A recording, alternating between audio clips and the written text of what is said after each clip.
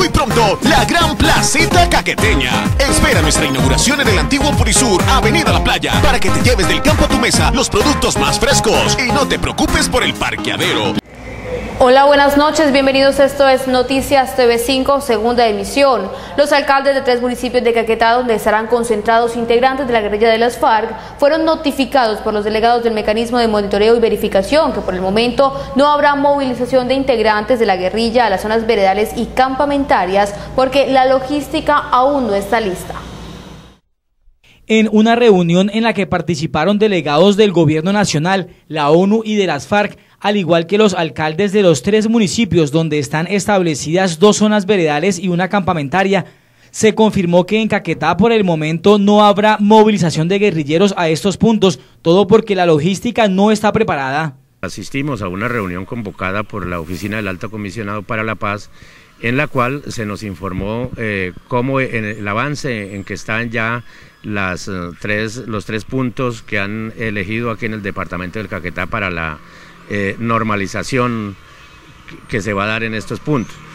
Eh, nos dejaron claro también que aquí en el departamento del Caquetá todavía no está garantizada la logística y que por lo tanto todavía no va a haber movilización de insurgentes hacia esas zonas porque precisamente no está garantizada esa logística.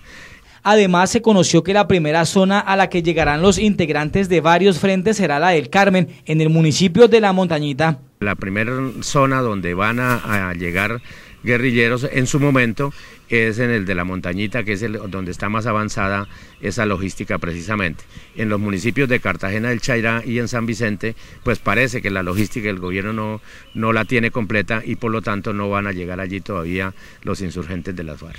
Los preparativos de la logística avanzan y el proceso de concentración de los integrantes de las FARC debe estar listo el 31 de diciembre, según trascendió en la reunión.